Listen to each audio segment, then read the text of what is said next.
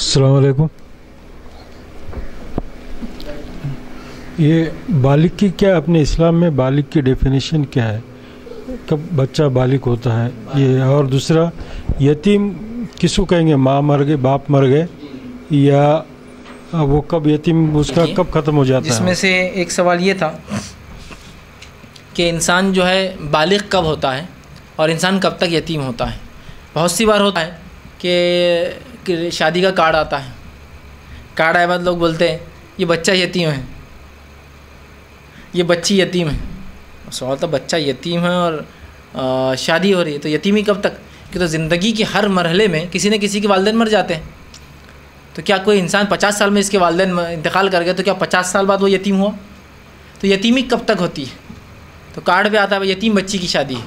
तो जब यतीम बच्ची की शादी है मतलब अब यतीम नहीं हो शादी की उम्र को आ गई ना तो यतीमी कब तक होती है, एक अच्छा सवाल है। तो याद रखिए, यतीमी के ताल्लुक से जो बात आती है, वो ये है कि एक इंसान बालिग होने से पहले तक यतीम होता है सिर्फ़, और यतीमी सिर्फ़ बाप के मरने से आती है, माँ के मरने से बच्चा इंसान यतीम नहीं होता है। यतीम इंसान बालिग होने तक, बालिग होने के पहले तक होता है, और यतीमी बाप से आती है, माँ के मरने से आदमी यतीम नहीं होता याद रखिए, ठीक है? और इंसान बालिग कब होता है?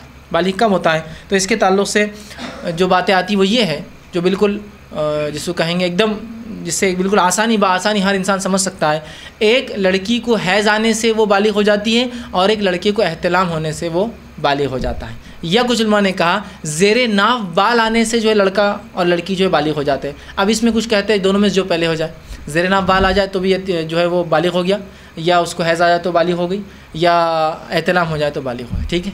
और ये उमूमन इंसान जो है, दस साल, ग्यारह साल, बारह साल, तेरह साल हार्डली हो जाता है। इसके बाद वो बालिग हो जाता है तो अब ज़ाहिर से यतीम बच्चे की शादी हो ही नहीं सकती। बालिग होगी मतलब यतीम नहीं रही। यतीम बच्चे का निकाह हो ही नहीं सकता, इसलिए कि बालिग है बल्कि तो निकाह हो रहा है तो यतीम कहाँ से रहा हो? निकाह तो हो सकता है, लेकिन हमारे पास तो जनरल शादियाँ, विदाई की वाली नहीं होती ना कि शादी पहले, विदाई की बाद में। साथ ही हो जाती तो ज़ाहिर सी बात है, यतीम है नहीं। तो अच्छा सवाल था, यतीमी बाप के मरने से आती है, यतीम इंसान बालिग होने के पहले तक रहता है, और बालिग होने के ताल्लुक से ने जो दिया, वो ये है कि लड़की हो तो हैज़ आ जाए लड़का हो तो एहतलाम, या जेर नाफ उनको बाल आ जाए शर्मगा की अतराफ़ तो बहरहाल फिर वो बालिग हो जाते हैं, और जहर से बालिग होने से उनकी यतीमी फिर ख़त्म हो जाती है। किसी ने एक